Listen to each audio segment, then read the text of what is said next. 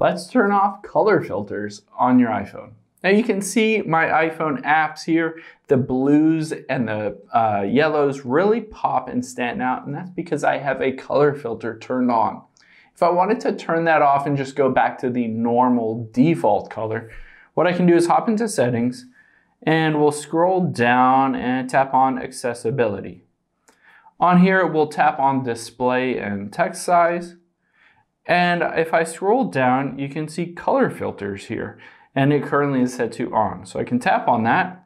And if I want to, of course, all I can do is just toggle at the very top that color filters off and now there is no color filter on here. Of course, if it was turned on and you wanted just to turn down the intensity, you can always turn down the intensity or up the intensity if you don't want to entirely disable that color filter feature.